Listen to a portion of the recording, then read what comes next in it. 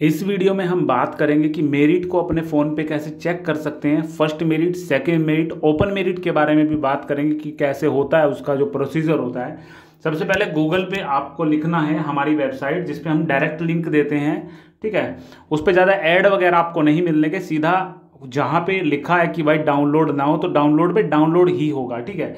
99 percent तो add नहीं आने के, एक परसेंट कभी भोला बिसरा ऐड आ सकता है, बाकी हम वेबसाइट को अंदर से क्लीन रखते हैं बिल्कुल तो आप चेक कर सकते हो। ये गूगल पे आप चेक कर लेना, ये जब डालोगे गूगल पे, उसके बाद आपको खुलेगा, ये सब चीज़ आएगी निकल के, ठीक है?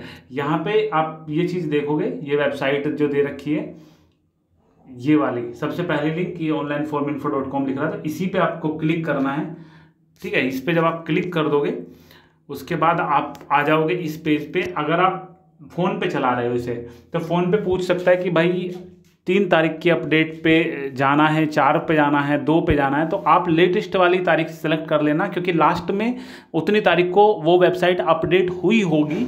जैसे आज छः तारीख है तो छः तारीख को वेबसाइट अपडेट हुई होगी। तो इसमें ऊपर की तरफ़ से ये वेबसाइट पाँच बज के पैंतीस मिनट पे अपडेट करी हमने, और इस पर नीचे की तरफ़ लिख रहा है C C S university second merit तो यहाँ पे क्लिक हियर पे क्लिक करोगे, और हमने अपडेट करके लिख दिया, प्रथम मेरिट में एडमिशन चार अक्टूबर तक हुए, दूसरी मेरिट छः अक्टूबर को लगेगी, ठीक है? अगर अभी आप चेक करोगे तो हमने लिख दिया कि छः अक्टूबर को मेरिट लग गई, और जिसके एडमिशन जो है आठ तारीख तक चलेंगे।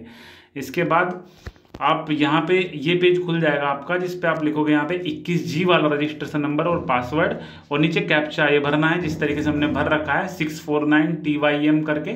तो ये चीज़ करके आपको करना है इसे सबमिट सबमिट करने के बाद आपको ऐसा खुल जाएगा। यहाँ पे मेरिट स्टेटस पे जब आप क्लिक करोगे तो यहाँ पे आ जाएगा।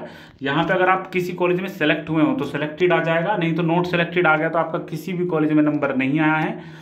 सेलेक्टेड जब आ जाएगा तो यहाँ पे डिटेल पे आपको क्लिक करना है, जो एक्शन में डिटेल आ रहा है। डिटेल पे करके प्रोविजनल ऑफ़र लेटर निकल जाएगा और यहाँ पे तारीख आ जाएँगी कि कितनी तारीख से आपके जो एडमिशन शुरू हैं और कितनी तारीख तक ये ऑफ़र लेटर जमा करना है। ठीक है छः तारीख से शुरू हुए हैं, यहाँ पे आठ तारीख आएगा अगर आप अभी का देखोगे, जो सेकेंड मेरिट लगी है। ओपन मेरिट में एक चीज़ होता है, ये चीज़ तो आएँगी ही आएँगी, लेकिन ओपन मेरिट में एक चीज़ और होती है, यहाँ पे जो है कॉलेज नेम जो लिखा हुआ है कॉलेज नेम ब्लैंक रहता है। मतलब कॉलेज नेम आप खुद से भरोगे डिग्री खुद से भर के आपको कॉलेज में जमा करना होता है, ठीक है?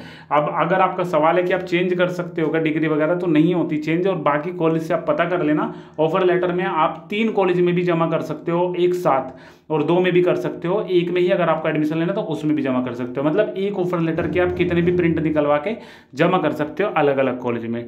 तो यही अपडेट थी, बाकी आपका कोई इससे रिलेटेड सवाल है तो कमेंट कर सकते हो। कोशिश करेंगे जितनी जल्दी हो सके आपके सवाल का रिप्लाई करने की।